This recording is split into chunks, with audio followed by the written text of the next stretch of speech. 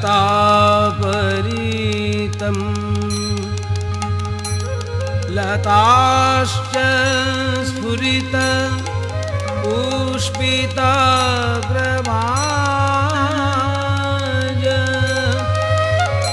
पुष्पाण्यपि स्फीत मधुव्रताणि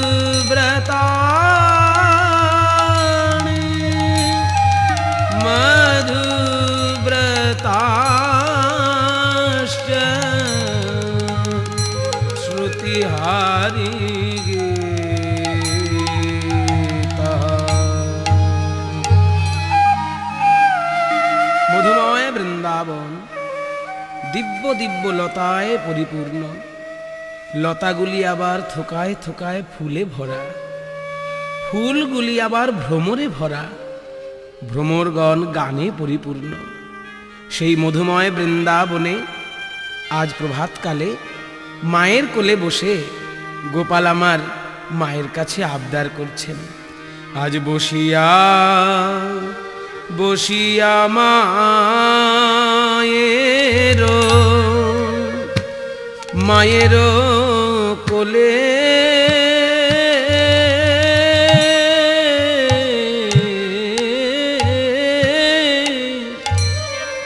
গোপাল আমার ননি খেতে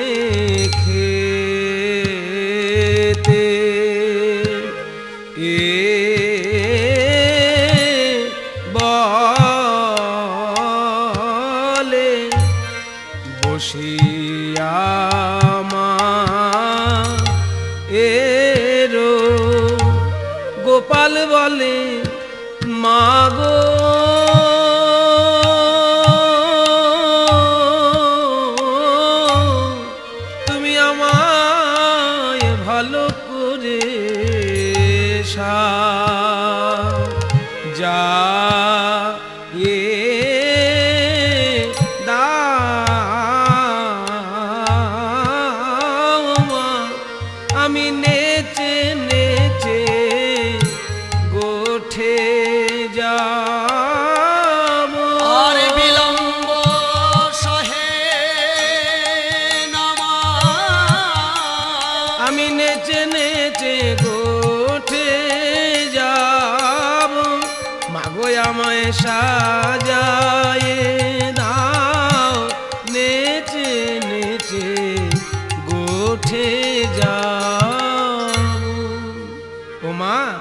মাগো আমি চরাবো বাছুর।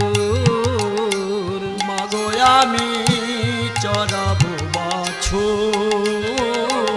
আমায় পরাইয়া দেহ ধরা মন্ত্র পড়ি বাঁধ চূড়া। পরাইয়া দেহ ধরা মন্ত্র করি বধ চূড়া। আমার চরণেতে পরাও নুপুর চরণেতে শুধু আমায় নুপুর পরালে হবে না মা, আমায় আরও কেমন ভাবে সাজাবে জানো? বলি অলকাতি লোকা ভালে, ওগো বনমালা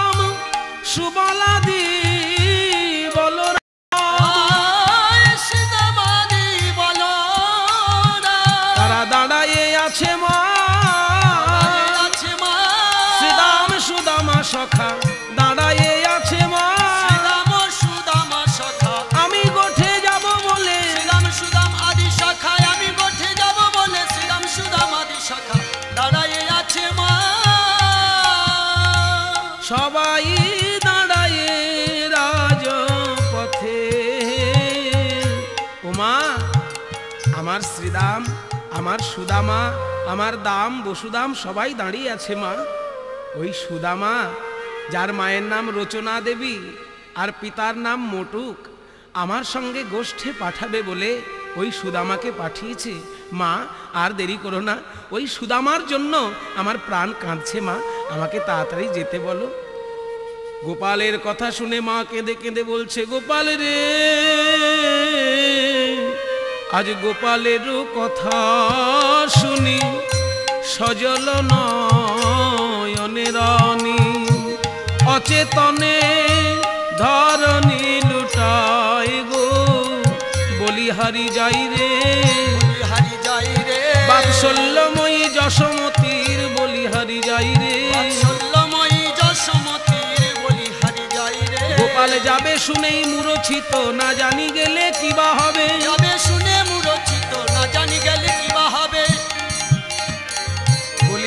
যাই রে। বিপ্রদাস ঘষে বলে ও গো গোপাল এ বয়সে গোঠে গেলে প্রাণ কি ধরিতে পারে? মায় গো প্রাণ কি ধরিতে পারে মা? গোপালের চাঁদ বদন পানে চেয়ে গোপালকে সাজাইতে মায়ের মন হয় না।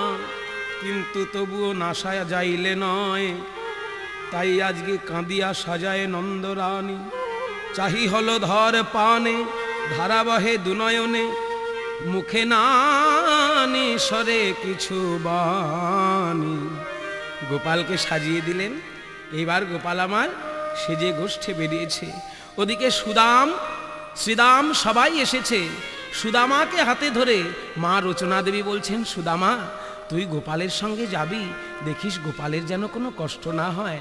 সুদামায়ের মা, রচনা দেবী, ওদিকে বলরামের মা, রোহিণীর কাছে কেঁদে কেঁদে বলছে, ওই দেখো দিদি, আমাদের গোপাল কেমনভাবে নেচে নেচে আসছে দেখো।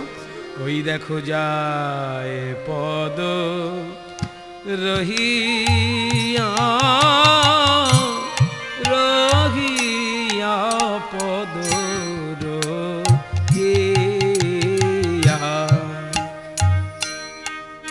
মাতা টানে ঘর পানে। আর সুদামা টানে বন পানে। আমাদের রাই টানে নয়ানে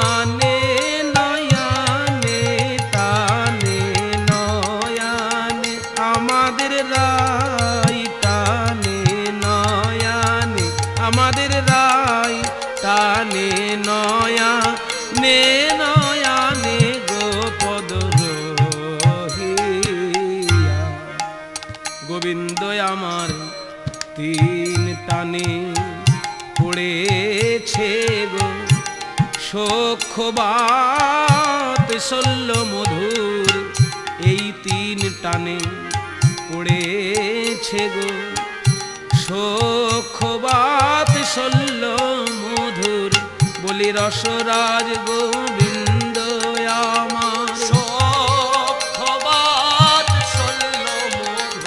এই তিন টানে পড়েছে গো।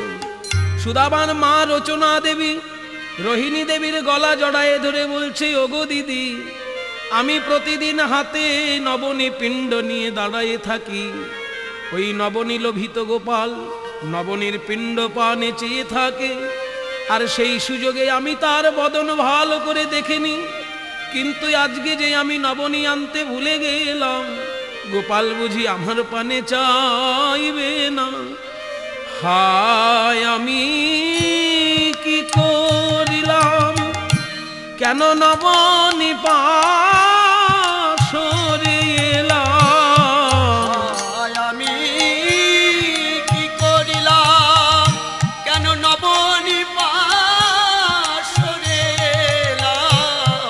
রাখতাম তারে।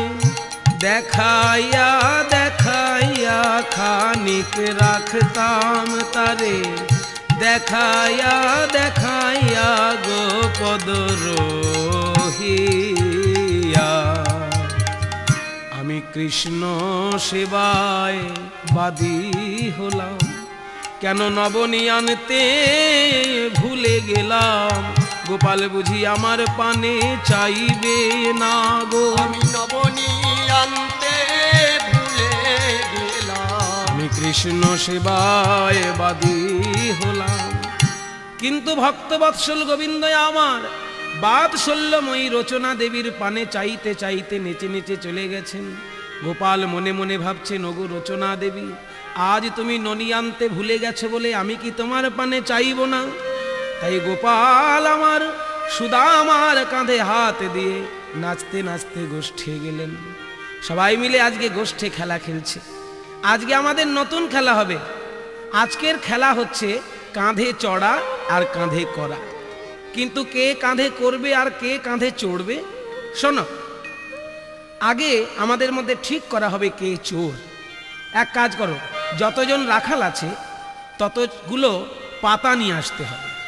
তার মধ্যে একটা পাতা ছিদ্র করতে হবে। ওই ছিদ্র পত্রটা যার ভাগ্যে পড়বে, সে হবে চোর আর তার কাঁধে উঠতে হবে সবাই। যত রাখাল, তত পাতা আনা হলো, ছিদ্র পাতা মেশানো হলো। এবার একটি করে সবাই পাতা তুলে নিচ্ছে। দেখা গেল ছেঁড়া পাতাটা গোবিন্দের ভাগ্যেই পড়ল। হায় হায়, আমি চোর হলাম। সুদামা বলছে, চোর কানাই চোর কানাই, চোর, চুপ! আমি তোর বন্ধু না।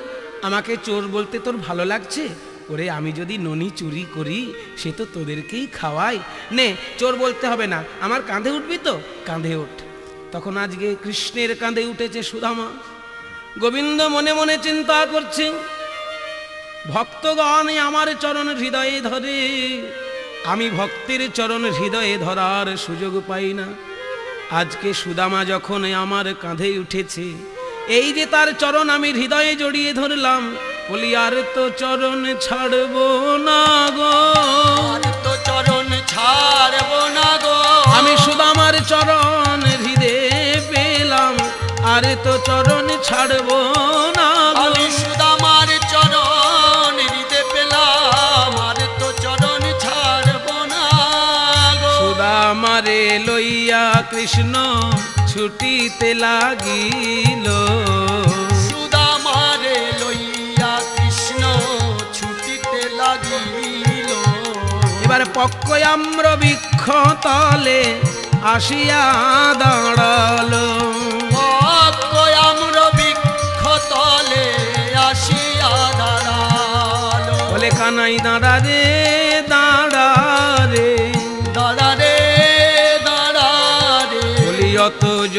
ছুটিস না ভাই দাঁড়া রে দাঁড়া রে।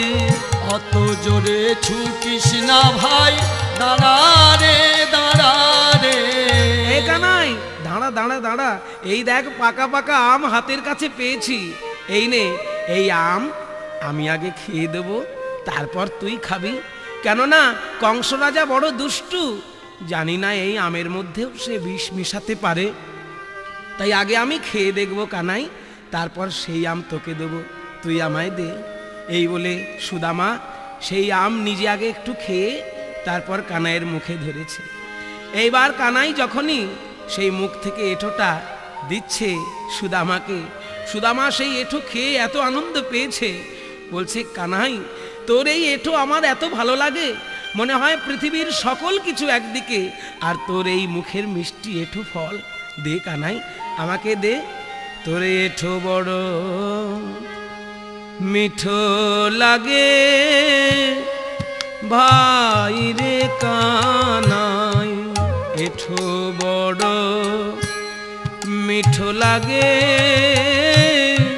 ভাই রে কানাই কানাই, আমরা খাইতে বড়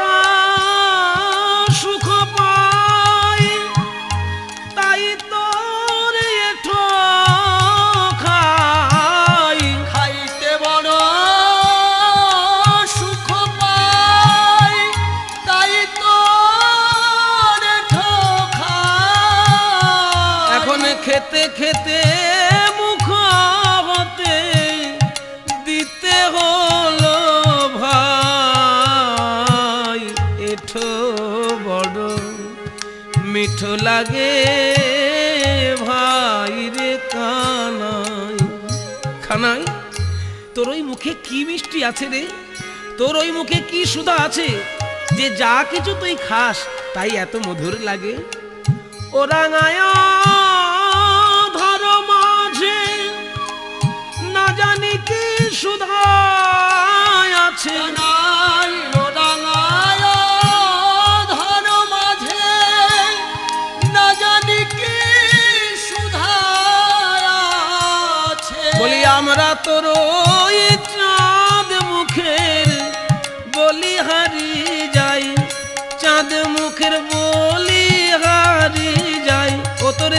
মুখের বলি হারি যাই। এঠো বড় মিঠো লাগে ভাই কানাই। কানাই? ওরে কানাই, আমার এই যত গয়না আছে, আমার গলার হার, আমার এই সব গয়না তোকে দিয়ে দিচ্ছি কানাই। তুই আমাকে আরেকটু এঠো দে। বলি, এই উপহার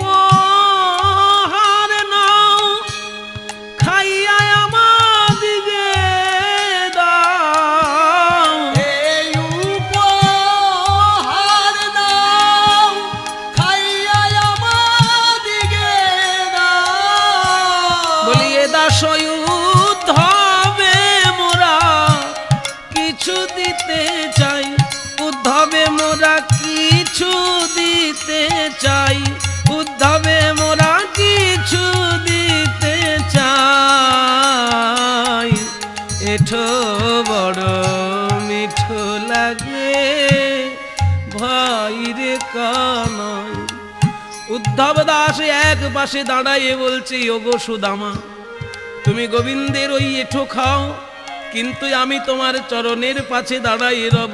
কেন জানো, আমি সেই আশাতে দাঁড়াইয়ে আছি, প্রসাদের কণা প্রসাদ পাব বলে। আমার নর জনম ধন্য হবে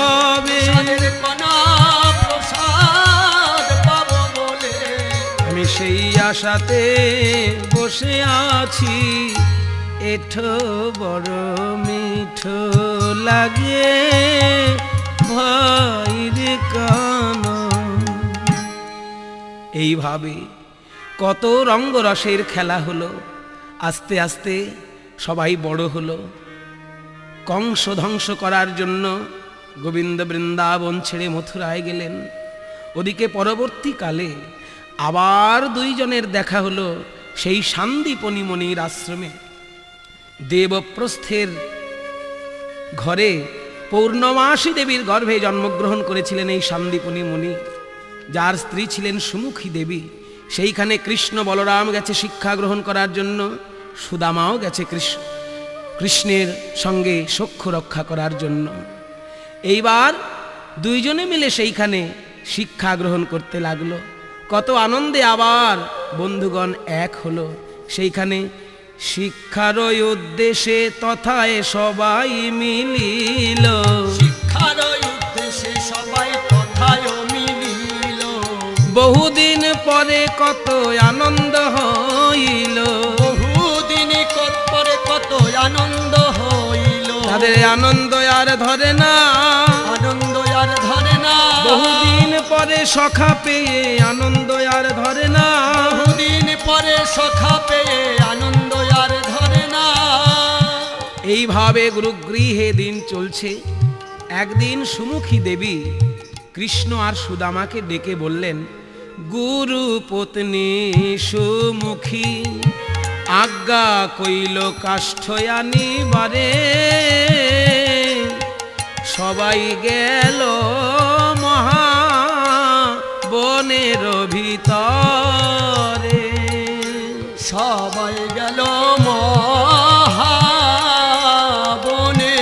ভিতরে। বলি, শুষ্ক কাষ্ঠ আনিবারে। শুষ্ক কাষ্ঠ আনিবারে। কৃষ্ণ সুদামা যায় বন ভিতরে। শুষ্ক কাষ্ঠ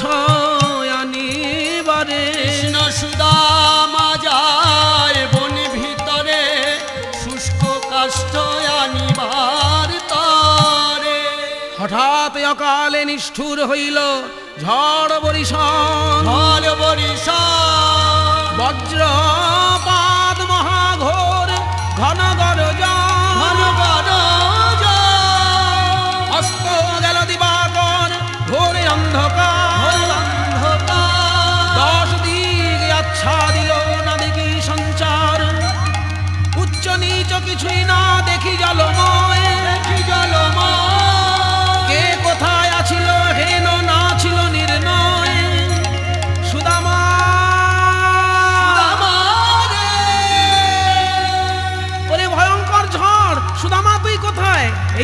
এই তো কানাই, আমি এখানে আছি।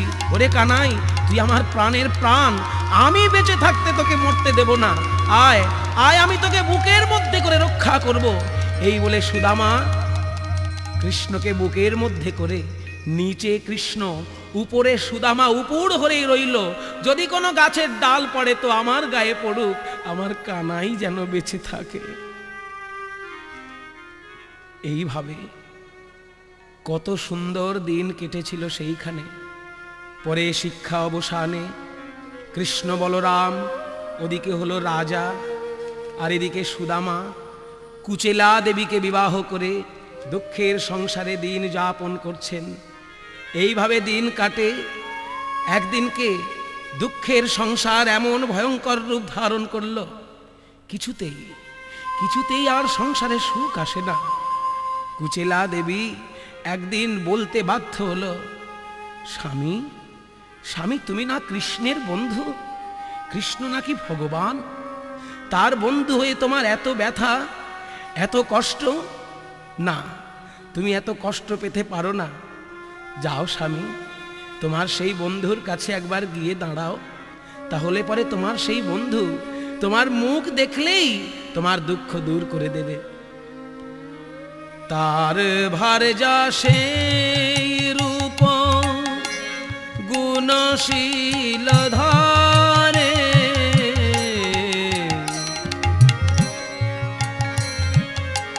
ওদিকে কুচেলা মলিন অঙ্গ জীর্ণ পট পরে। কুচেলা স্বামী, এই দেখো আমার ময়লা কাপড়। ছেঁড়া কাপড়। কি করে লজ্জা নিবারণ করব? যাও স্বামী, তুমি তোমার বন্ধুর কাছে একবার যাও। না না না! কুচিলা, ও আমার বন্ধু। বন্ধুর সঙ্গে আমার ঘনিষ্ঠতা আছে। আজকে ও রাজা হয়েছে। তা বলে কি আমি তার কাছে টাকা পয়সা চাইতে পারি? আমি কত ভালোবাসি, তার কাছে আমি চাইব? কুচিলা দেবী বলছে, না না, আমি তা বলছি না। কহিতে লাগিলা কিছু প্রতি সন্নিধান মোর নিবেদন নাথ করয় অবধান। সাক্ষাতে তোমার সখা, ভুবন ঈশ্বর। লক্ষ্মীকান্ত ভগবান, ব্রহ্মণ্য শেখর। ওগো স্বামী, এখন তিনি দ্বারকার রাজা। তোমাকে কিছু চাইতে বলছি না। তুমি তো ছোটবেলা থেকে সেই বিদ্যালয়ের পর বন্ধুর মুখটাও অনেকদিন দেখনি। তো সেই বন্ধুকে অন্তত একবার দর্শন করতে যাও। তাই বলি ওগো স্বামী তুমি বন্ধুকে অন্তত একবার দর্শন করতে যাও।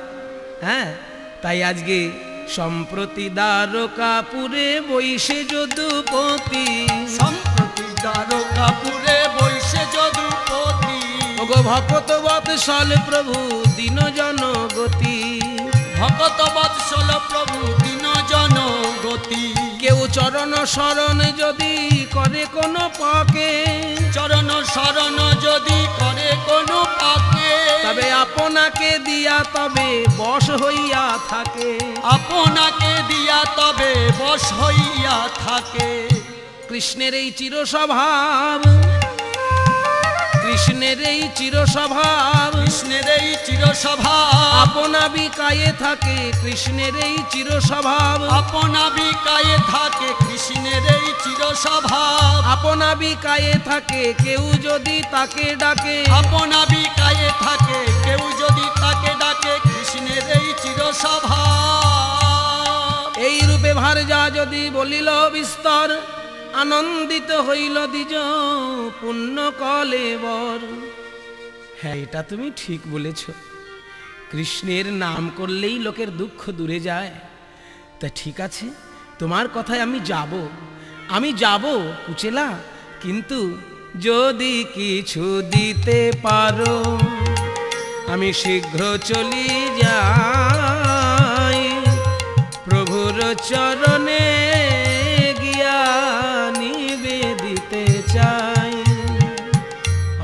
পরে বন্ধুর কাছে যাব। কিছু না নিয়ে গেলে হয় কুচেলা, তুমি কিছু এনে দাও। তখন কুচেলা, এ বলো শুনিয়া ভার যা চলিলা সত্তরে। এবার মাগিয়া নিল ভিক্ষা ব্রাহ্মণের ঘরে। আমায় ভিক্ষা দাও গো নগরবাসী ভিক্ষা দাও আমায়। আমায়। তোমাদের এই ভিক্ষার দ্রব্য পাবে শ্যামরায়। ভিক্ষা দাও আমায়। আমায় ভিক্ষা দাও নগরবাসী। ভিক্ষা দাও আমায়।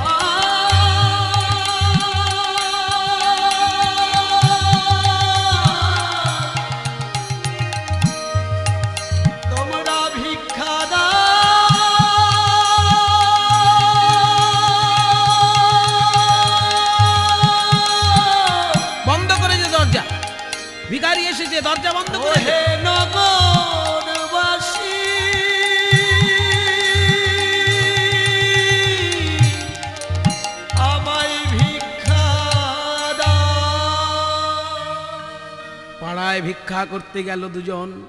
কেউ ভিক্ষা দেয়, কেউ দেয় না, কেউ মুখের উপর সাত পাঁচ কথা বলে। কিন্তু অদ্ভুত ব্যাপার।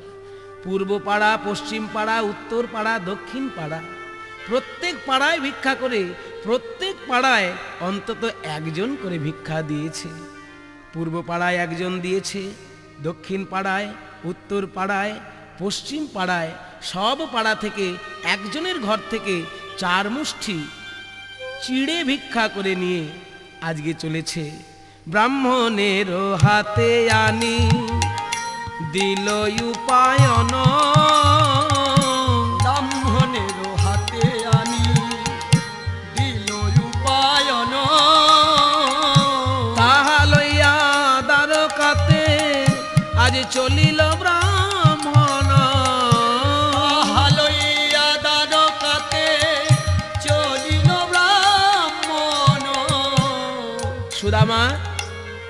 সেই চার মুষ্টি চিড়ে একটি ছেঁড়া পুটলির মধ্যে বেঁধে নিল।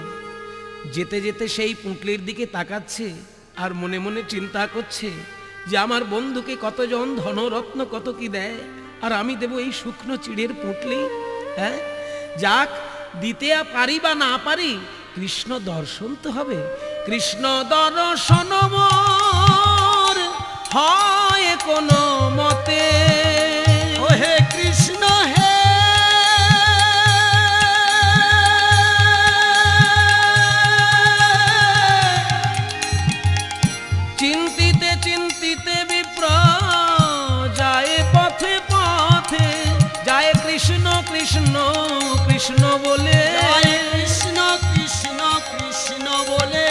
সখা দেখা দেবে বলে। কৃষ্ণ কৃষ্ণ কৃষ্ণ বলে।